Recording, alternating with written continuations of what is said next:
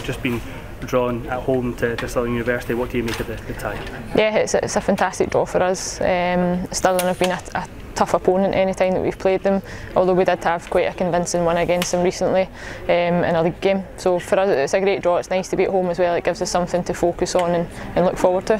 And in terms of, of this competition, it's the, the biggest cup competition in girls and women's football, sponsored by SSE. What's it like as a player to, to play in this competition? Yeah, it's fantastic. I think just any young person growing up in Scotland, um, the Scottish Cup has always been very prestigious and it's something that you enjoy being associated with. So being here and being part of it um, and the fact that we've got such a, a huge sponsor now in SSE, it's definitely fantastic for the growth of the game as well.